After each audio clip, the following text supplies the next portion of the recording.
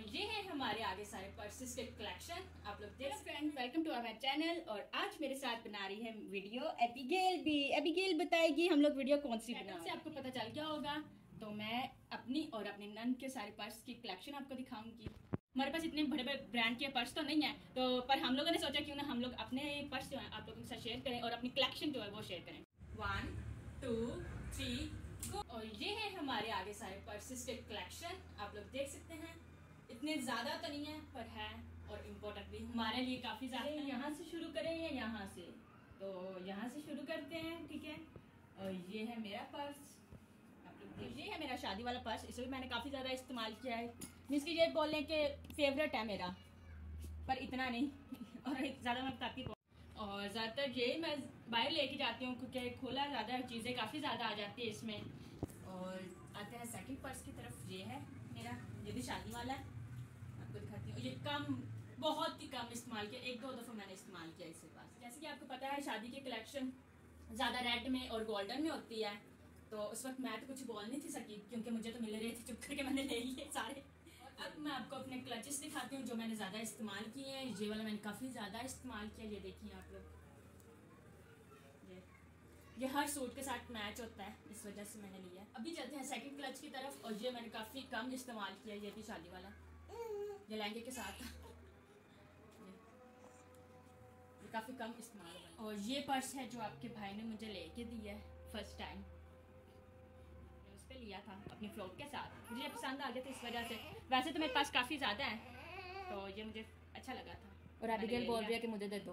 हाँ। अबिगेल को दे दो। अबिगेल लेना ले लो। वो कह रही सारी मैंने ले ली ये साइड हो गया हमारी मुकम्मल। ये रखते हैं साइड पे अब आते हैं इस साइड पे। ठीक है ना?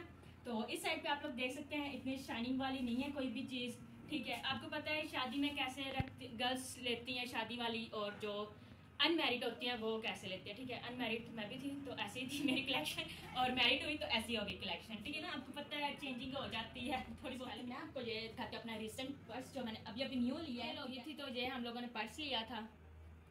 आपको पता है मीन्स की जब बेबी हो जाए उसकी चीज़ें वगैरह रखने के लिए कहीं जाने आने के लिए तो बड़े पर्स रख लेने चाहिए। तो ये मैंने लिया था, ठीक है। तो इसके अंदर फीडर वगैरह सारा कुछ आ जाता है। तो ये काफ़ी, अभी मैंने इस्तेमाल ही नहीं किया, अभी ले के रखा हुआ है। हम लोगों ने। तो ये भी हो गया। और ये है मेरी नंद का पर्स। और हाँ कल किसी ने कमेंट किया था कि आपकी नंद बहुत बात तमीज़ है, ऐसी बात नहीं है, ठीक है ना? तो मैं वीडियो में कम बोलती हूँ, इस वजह से वो मेरे साथ बनाती हैं वीडियो और कैमरा मैन है मेरी तो इस वजह से कुछ उनका हक होता है बोलने का, ठीक है?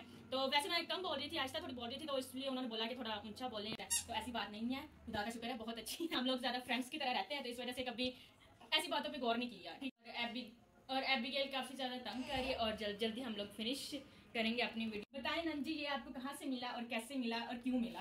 ठीक है ना? ये वाला पर्स जौन सा ये मुझे मिला था मेरी कज़न्स ने मुझे बर्थडे पे दिया था जो कि मुझे बहुत पसंद आया था क्योंकि एक तो ये ब्लैक में है ब्लैक कलर मेरा फेवरेट है और वैसे भी ये हर सूट के साथ चल जाते थे तो मुझे बहुत पसंद आया था। Thank you so much cousin's purse है ये वाला और ये मुझे भी अच्छा लगा इनका कलर ट्रैक्ट और वैसे भी। ये मेरा भी फेवरेट है क्योंकि ये मुझे मेरी ननद ने दिया था और ये बहुत प्यारा है मतलब कि बहुत यूनिक सा पर्स है। अब चलते हैं इस साइड की तरफ़।